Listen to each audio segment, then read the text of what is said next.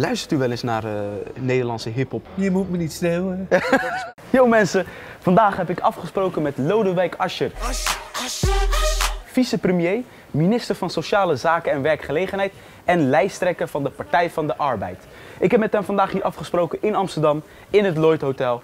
Ik ben benieuwd wat hij allemaal voor ons kan betekenen. Let's go! PNM, maar heeft John nog met die krimis. Ben nog steeds de man, brengt door een probleem. Vroeger was het MOB, fuck die Jimmy's. 14 weken opeens, zwanger hier zo bij mijn steun.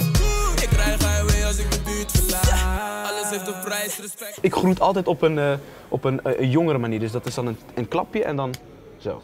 En nu vloeiend.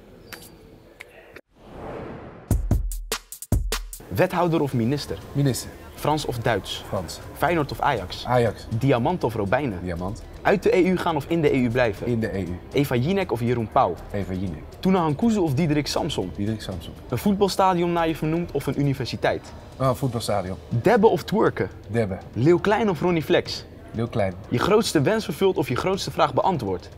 grootste wens vervuld. 1,35 meter kort zijn of 2,35 meter lang zijn? 2,35, Rozen of tulpen? roze, Een pak op maat of een trainingspak? Pak op maat, Nike of Adidas? nee, Alleen maar kunnen fluisteren? Of alleen maar kunnen schreeuwen? fluister. Wel of niet stemmen op 15 maart? Wel stemmen, De laatste was overduidelijk. Ja. Leeuw Klein of Ronnie Flex? U zei Leeuw Kleine. ja. Luistert u wel eens naar eh, Nederlandse hip-hop? Ik heb jongetjes van 9, 8 en 5. Ja. En als die s'avonds in bad stop, dan mogen ze om zijn beurt een playlist opzetten. Ja, draai ze dan. Dus dan ik wil drank ook. en drugs. Wat zegt u Als je dan? met shirt chillen, is dat geen probleem. Ja, U kent ook gewoon de teksten en ik alles. vrees zo wel, ja. ik heb- Broederliefde is... eh, is Je kent ook broederliefde? Je moet me niet schreeuwen. Ja, dat is wat ze bad... eh, ja, Je moet me niet schreeuwen. Geweldig, echt waar. waar. Wauw. Nou, wat ik altijd doe is een, is een challenge. ja.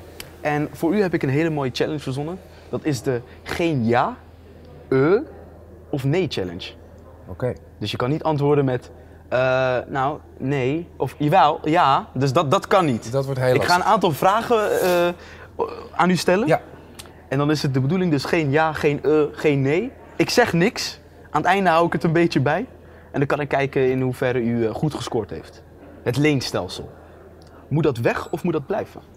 dat moet blijven. Omdat het per saldo betekent dat er meer geld wordt uitgegeven aan de kwaliteit van het onderwijs. Terwijl het toch toegankelijk blijft voor jongeren. Mogen religieuze scholen open blijven? Wat mij betreft wel, als de kwaliteit maar goed is. Het allerbelangrijkste is dat kinderen op school goed les krijgen. En als ze dat doen, mag het van mij ook een christelijke, islamitische of joodse school zijn. Moet er meer werkgelegenheid eh, komen voor jongeren?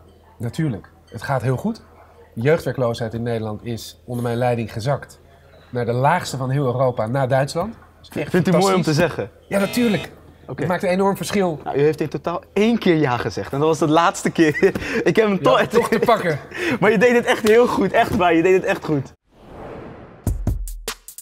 Ik heb een foto heb ik, eh, gepost op Instagram. Met daaronder de vraag, eh, dit is eh, Lodewijk Asscher, lijsttrekker van PV, Partij van de Arbeid. Ik heb gevraagd, wat zouden jullie aan hem super graag wilden vragen? Ja. En één vraag die kwam echt super vaak naar boven.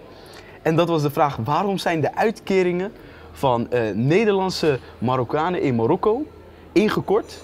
En waarom zijn eh, eh, de uitkeringen volgens mij voor Nederlandse Israëliërs verhoogd? Er is wat aan de hand met die vraag. Ja, oké. Ehm, er wordt bewust eigenlijk een leugen over mij verspreid. En ik denk dat veel van de mensen die jou volgen dat zelf ook hebben meegemaakt. Dat er bewust vooroordelen over je verspreid worden, dat men negatief over je doet. ja. En dat dat heel erg vervelend is, niet eerlijk. Dat is met deze vraag ook. Ja. Het is onzin, het heeft niks met elkaar te maken. Dus mensen doen dat expres, zodat mensen gaan denken dat het zo is. Ja. Dat vind ik een hele gemene manier van met elkaar omgaan. Er is in Nederland een wet aangenomen, voor mijn tijd. Die zegt, als je een uitkering hebt en je woont buiten Europa...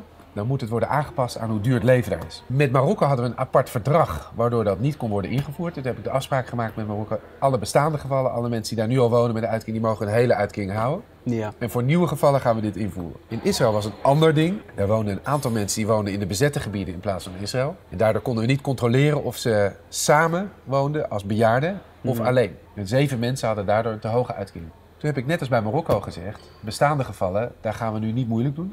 Die houden hun geld. Mhm. Maar nieuwe gevallen, daar gaan we de regeltjes strikt in toepassen. Het interessante is dat mensen dus bewust diezelfde vraag 10, 20 keer onder jouw Instagram post zetten. Die zijn Ja. dus bezig mij zwart te maken. Dat vind ik heel vervelend. Ik wil juist opkomen voor mensen die gediscrimineerd worden, die al maar verdacht worden gemaakt. Maar dan zeg ik tegen de mensen die dat doen, kijk even in de spiegel. eh, kijk even hoe je zelf bezig bent. Zijn er ook partijen waar- waarvan u zegt van, nou daar ga ik echt nooit mee samenwerken? Nooit met de PVV. PVV. Nee, omdat zij bewust ervoor kiezen om mensen anders te behandelen, niet om wat ze doen, maar om wie ze zijn. En ik geloof daar niet in. Ik geloof dat in dit land iedereen die zijn best doet en zich aan de regels houdt, een kans moet krijgen. Dus ik ga niet met hem samenwerken. Wat vindt u ervan dat eh, veel eh, Nederlanders met een migrantenachtergrond eh, toch niet op de Partij van de Arbeid stemmen? Meer richting andere partijen gaan? Dus bijvoorbeeld Denk en van dat soort splinterpartijen, zeg maar. Uh, mensen mogen zelf kiezen. Dat vind ik juist fijn in Nederland. Je mag Ja. helemaal vrij kiezen. Maar ik hoop wel dat ze uiteindelijk de Partij van de Arbeid toch steunen. Want wij zijn wel de partij die zich inzet voor gelijke rechten voor iedereen. Voor werkgelegenheid, toch wel ontzettend belangrijk voor veel kiezers. Ja. En voor goede scholen. Een sterke PvdA is echt voor Nederland ontzettend belangrijk. Hoeveel je zet- kunt een, stemper- een splinterpartij doen. ja, Maar wat gaan ze met je stem doen? Wat krijg je ervoor terug? dat is de misschien even eh, vijf seconden lekker gevoel. Ik heb een boodschap, een signaal gegeven. Je wil ook dat mensen aan de macht komen, aan de knoppen zitten, die het voor jou opkomen. Aan het einde van elke aflevering heb ik een, een, een straattaalzin. En dan is het voor u de bedoeling om dat te vertalen naar algemeen beschaafd Nederlands. Oké. Mimatti is osso chillen op 15 maart, omdat niemand hem een SO geeft in de Tweede Kamer. We beginnen bij het begin. Mimatti is osso chillen. Mijn vriend, Ja, Osso weet niet. Osso chillen. Jongens, is ook aan het chillen. omdat niemand hem een SO geeft in de Tweede Kamer. Omdat niemand hem een SO geeft, een shout-out geeft in de Tweede Kamer. Je weet gewoon wat een SO is. Ja, even nadenken, even hè? Osso betekent huis, dus thuis. Ah, dus mijn is thuis vriend chillen. is thuis aan het chillen op Oké. 15 maart, omdat niemand hem Een shout-out geven. shout-out geeft in de Tweede Kamer. Nou, je had hem bijna goed, dus dat is in ieder geval eh, Halve punten. Halve punten, Ja. halve punten vooruit. Ik wil in ieder geval heel erg Hey, eh, bedanken voor, voor dit interview. Gaan we het nog een keer gewoon zo doen? Ja, Toppie. en veel succes met je serie. U ook. En Dank alle wel. jongeren, stemmen. Gaat daar weer toekomst. Je hoort het van. Ome Lodewijk, hè? Dan moet het gebeuren. ga stemmen. Ik kom net van het gesprek met Lodewijk Asscher. Goed gesprek, best wel een serieus gesprek, maar ja, daar is hij natuurlijk wel vicepremier voor. Aan het einde van elke aflevering heb ik drie criteriapunten waarop ik een politicus beoordeel. Hoe goed kent hij de jongeren? Hoe goed is hij voor de jongeren? En hoe chill is hij? Dat is natuurlijk het allerbelangrijkste. Hoe goed kent hij de jongeren? Nou, ik ken de jongeren best wel goed. Hij wist wie broederliefde was en hij kon een stukje meezingen. Nog niet gezien, dus daarvoor krijgt hij zeker respect. Een 8 Lodewijk. Hoe goed is hij voor de jongeren? Nou, hij wil het leenstelsel toch wel behouden en hij onderbouwde dat niet op een hele sterke manier, best wel op politiek correcte manier. Dus voor dat krijg je wel voldoende een zesje. En hoe chill is hij? Nou, Lodewijk is best wel chill, maar af en toe komt die politicus in hem naar boven en dan is hij weer net iets te strak. Dus een 7, een 7 krijg je van mijn Lodewijk. Dus gemiddeld kom je dan uit op een, op een 7. Mooi cijfer Lodewijk. Goed gedaan man. Weet je nou nog niet op wie jij moet gaan stemmen? Blijf dan vooral kijken en check ook even de andere afleveringen. Dan ben je weer helemaal op de hoogte. Ik zie jullie weer. Tot de volgende keer. Ciao.